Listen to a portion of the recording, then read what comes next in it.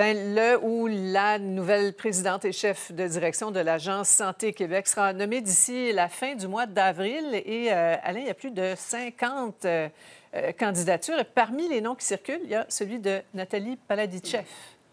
Oui, et c'est la PDG d'Evanway Cambridge. Certains disent que Christian Dubé la voit dans sa soupe. Elle est arrivée en 2019 à la tête du bras immobilier d'Evanway Cambridge. Elle termine euh, son mandat à la fin avril. Il faut dire qu'il y a pas mal de personnes qui sont montrées intéressées, même que le gouvernement a embauché des chasseurs de tête pour trouver le ou la euh, présidente et, ou président, chef de direction euh, de la future agence. Regardez les chiffres, il y aura 15 membres, un sous-ministre en chef, un euh, président, chef de direction et les candidatures se sont complétées le 1er mars. Il y a une 61 personnes qui sont actuellement, candidatures qui sont actuellement analysées, 12 membres au sein du conseil d'administration, 749 candidatures pour 12 postes.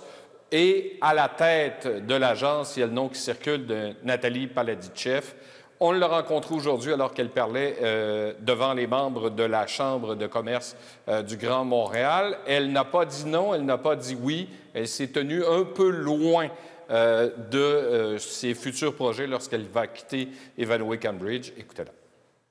J'ai pas d'annonce à faire, donc euh, j'ai pas de, euh, j'ai pas réfléchi encore vraiment à ce que j'allais faire dans, dans, mon futur. Aujourd'hui, je suis vraiment complètement dans le présent. Non, j'ai pas déposé mon, mon CV, euh, et donc, une fois de plus, je, je, crois que je dois cette fidélité à la caisse jusqu'au dernier moment. J'ai un engagement qui est de rester jusqu'à fin avril avec la caisse de dépôt et placement du Québec, et donc c'est ce que je préfère. Je vais rester avec la caisse jusqu'au 29 avril, et c'est mon seul sujet d'attention. Bon, ce qu'on me dit, c'est que le choix n'est pas encore fait, qu'on est en train d'analyser les candidatures, qu'on va évidemment euh, avoir des entrevues au cours des prochaines semaines et qu'on devrait annoncer euh, celui qui va diriger ou celle qui va diriger l'Agence Santé Québec d'ici la fin avril. Merci beaucoup, Alain.